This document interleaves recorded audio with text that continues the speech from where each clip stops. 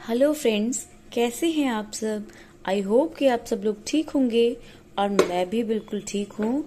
तो स्वागत है आज आपका मेरे नए वीडियो पे। आज बनाते हैं बेसन का चीला। तो ये मैंने आधी कटोरी के हिसाब से बेसन लिया है। इसमें मैंने थोड़ा सा नमक डाल दिया है और इसमें थोड़ी सी वजीज भी हम आज डालेंगे। इसमें इतना सा दही डाल देते हैं ताकि थोड़ा खट्टापन आ जाए इसमें हल्का सा। और ये दही मैंने घर पे बनाई है। मैंने इसकी शॉर्ट वीडियोस में डाल रखा है, आप देख सकते हैं मेरे शॉर्ट्स में जाके।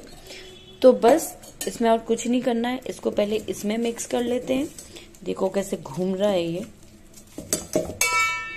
इसमें मिक्स कर लेते हैं और इसमें फिर थोड़ा थोड़ा पानी डाल के एक बैटर टाइप बना लेंगे। देखिए कैसा ये बैटर बनके तैयार है और अब इसमें थोड़े लम्स आ गए हैं, थोड़ी देर हम रखेंगे ना तो वो लम्स खुद ही फूट जाते हैं। इसको अभी टाइम है नाश्ता बनने में तो इसको रख देती हूँ मैं कम से कम आधा घंटा। वैसे बेसन का चीला बेसन रखने के लिए मतलब कोई टाइम नहीं होता है, तुरंत बना सकते हैं।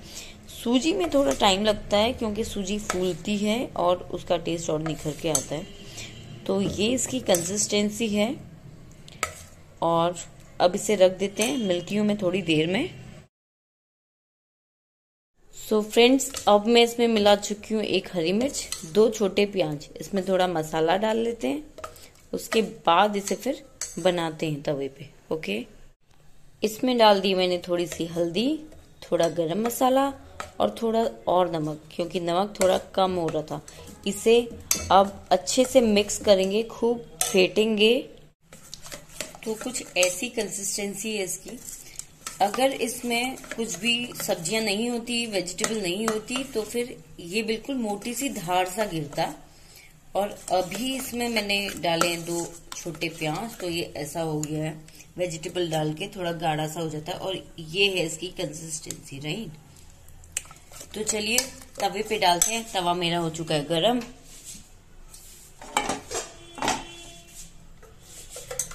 देखो किस तरीके से फेंटते हुए, जितना फेंटोगे उतना ज़्यादा अच्छा फ्लफी बनता है और टेस्टी बनता है।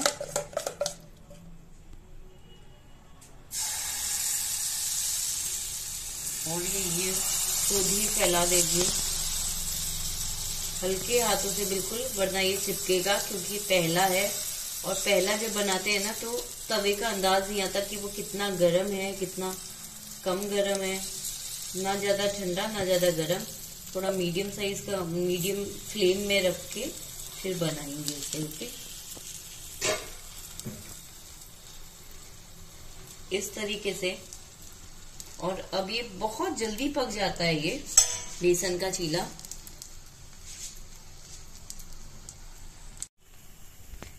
तो देखिए, ऊपर से कैसे सूख गया है ये, इस तरीके से। और अब जैसे ही पकने लगेगा तो ये नीचे से तला छोड़ देगा। और अगर ये नहीं पका रहेगा नीचे से और इसे ऐसे ही हम पलट देंगे तो वो चिपकेगा। तो इसे पलट लेते हैं। देखो कितना इजीली निकल गया है। ये बहुत ही इजीली बन गया। इसमें मैंने घी डाला था पहले। और अगर आप नहीं भी डालें नॉनस्टिक पैन है तो इजीली बन जाता है। और रियली ये चाय के साथ थोड़ा सा उसमें सॉस ले लो, बहुत ही यम लगता है, बहुत ही अच्छा लगता है टेस्टी सा। अब इसको पकाते हैं, फिर दिखाती हूँ मैं आपको इसका क्या हाल है।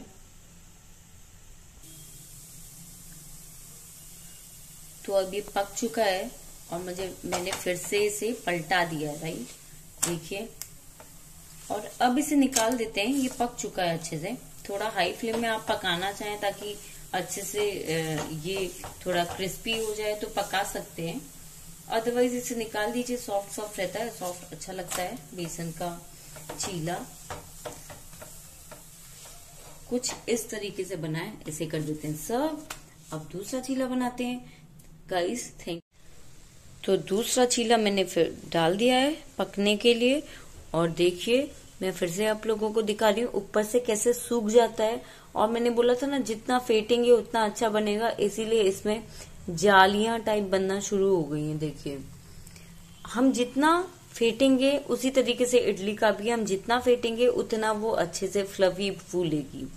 So guys please do like share and comment and please subscribe my channel thank you